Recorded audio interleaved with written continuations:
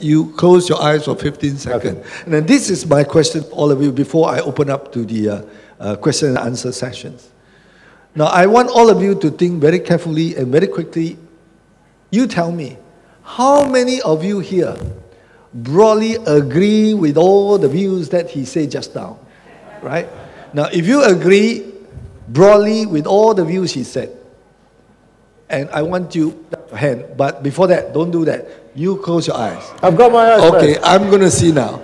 Okay, those who broadly agree with what Dr. Martin Jacques just say about China, about the West, you know, his view, you know this, you went through the one hour or more. Now, can you please put up your hand for those of you broadly agree with him? Hands up. Let me see.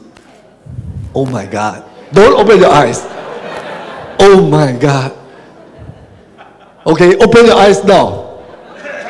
Open your eyes now. Look at that. Bravo!